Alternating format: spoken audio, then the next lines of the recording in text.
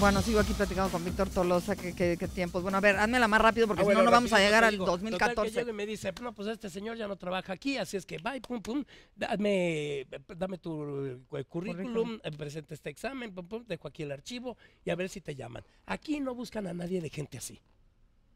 Total, dije, pues ni quiero, punto, bye. Al fin que me, ni me largo. A los tres días me habla la mujer y me dice, ven por favor porque te necesitamos. Pues que hubo, no que no.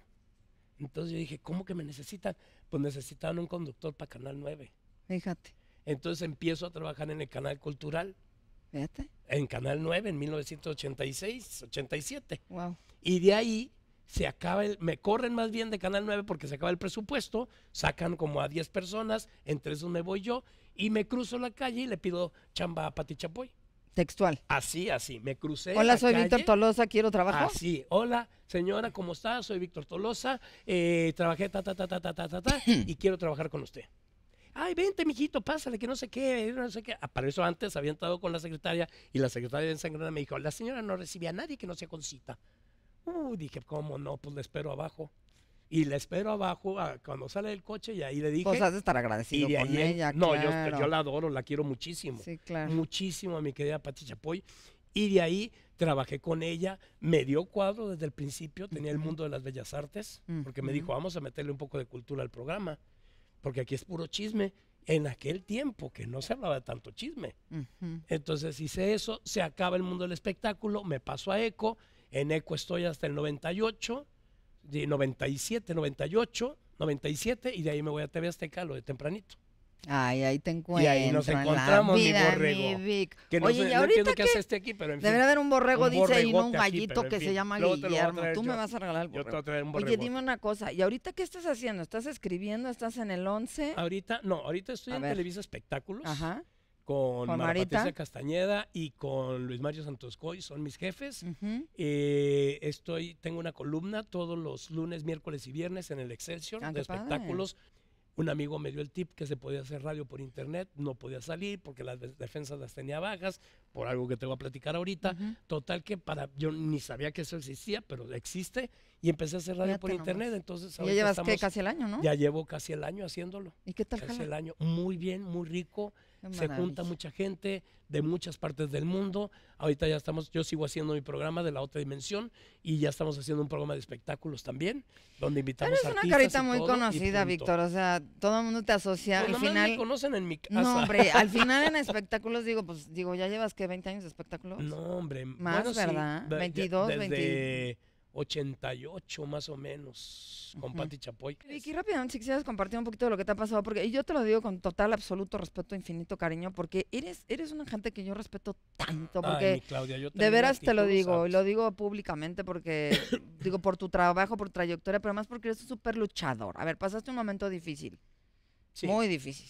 sí, en, fíjate que en 2008 Ujú, Justo, eh, y le estaba comentando a la doctora que estaba hace rato contigo, cuando estaba así feliz, con mucho trabajo, tenía, tengo, bendito sea Dios, lo de la columna en el periódico, que me encanta escribir, tenía el programa de radio, que era de 1 a 3 de la madrugada en, en Grupo Imagen, y tenía Televisa Espectáculos, en donde tú sabes que ahí hago las entrevistas de todas las películas que vienen a. México. Este, voy y entrevisto a los actores ya sea a Nueva York, entonces a Londres, la pasas un poco a mal. París, entonces digo, Sí. tú no vas a decir que no a esa Sí, no, chamba. no, sí. Y en ese momento te dicen, ¿sabes qué? Tienes cáncer.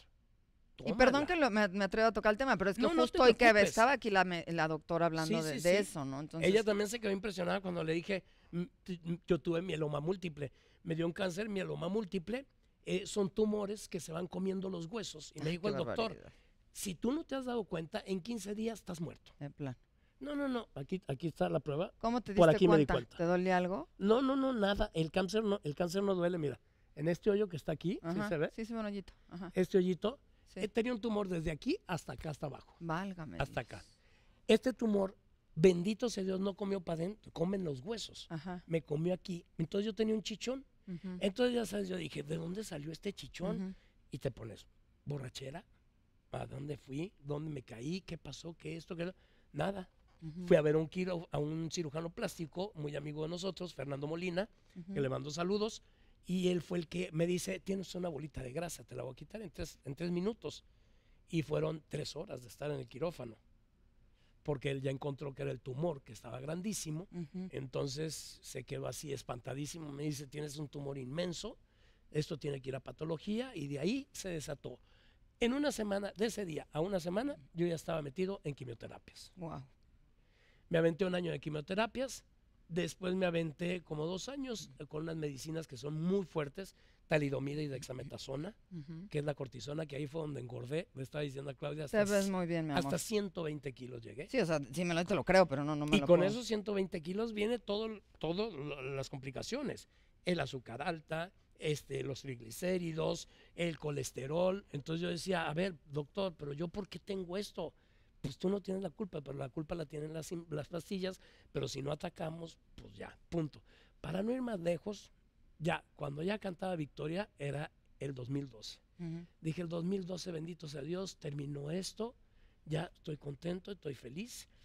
Todo, ahorita te voy a relacionar algo si, si me das tiempo, porque todo lo hice con una actitud totalmente positiva, con decretos, pegado completamente a Dios, pegado a las medicinas, pero también pegado totalmente a todo lo naturista. Yo Mm, alternaba las dos cosas y metí a Dios en medio.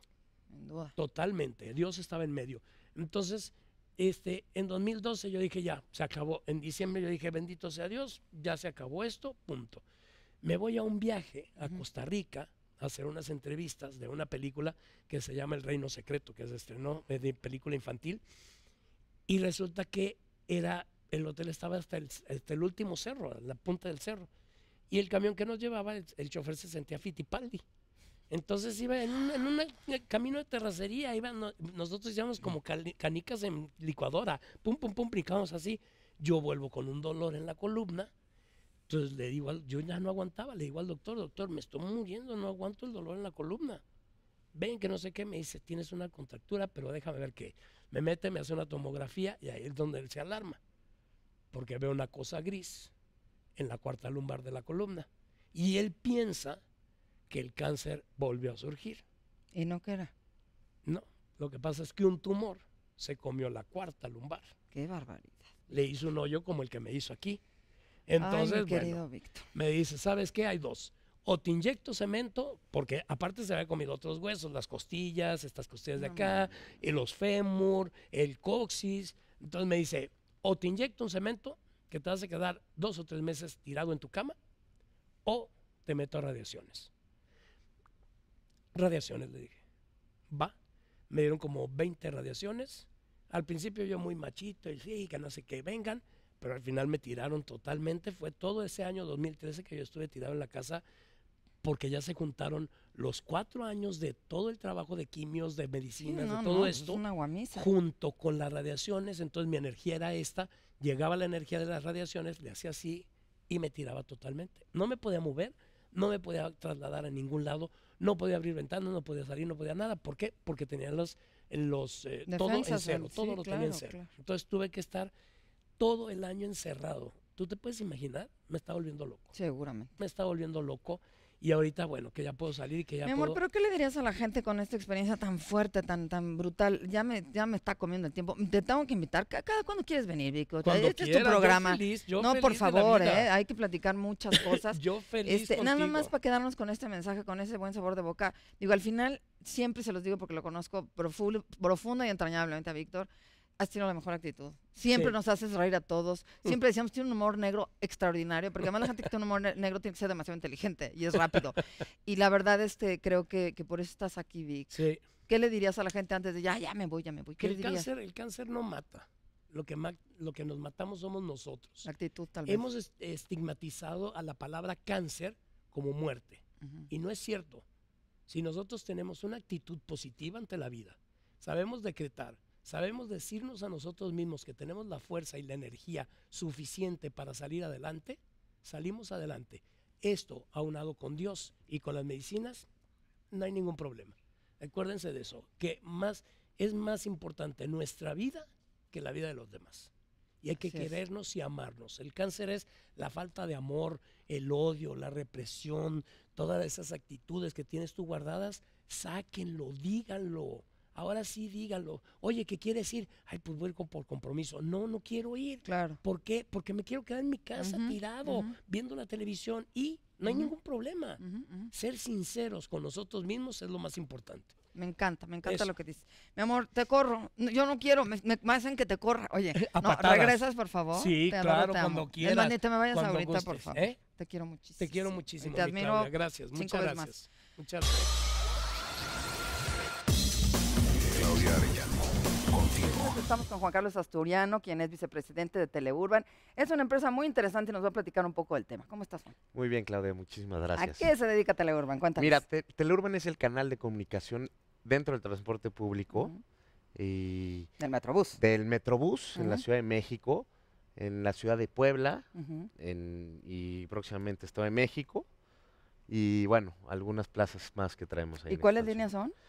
Eh, mira, en la, en la Ciudad de México estamos en el Metrobús, en la línea 1 de Indios Verdes al Caminero, que es la Insurgentes, línea 2 de Tacuaya Tepalcates y línea 3 de Tenayuca, Etiopía. ¿A cuánta gente llegan? Porque cuánta gente se sube. Tú tienes datos ahí muy interesantes. Sí, tenemos muy identificado nuestro, nuestro, la, la audiencia que tenemos, el uso del transporte público. Entonces, estamos llegando alrededor de unas 390 mil personas diariamente, Wow. ¿no? Y mensualmente vienen siendo más de 14 millones, 14 millones y medio de personas mensualmente. Es un gran medio de comunicación, sin duda, ¿eh? Pero además los entretienen, ¿no? En Sí, el sí, trayecto. sí, ahora sí que nos hemos... eh, eh, le- los objetivos de Telurban es brindarle entretenimiento al uso del transporte público, para hacerle el, su viaje más entretenido, más corto, ¿no? Y vaya que hace falta. Oye, a ver, ¿y qué comercializan? Aparte de lo contenido de las televisiones, ¿qué más hay? Mira, por la parte de las, las televisiones manejamos espoteos de Ujú. 20 segundos o más, telereportajes, eh, manejamos eh, las dovelas, que son las, las calcomanías colocadas en el interior del autobús,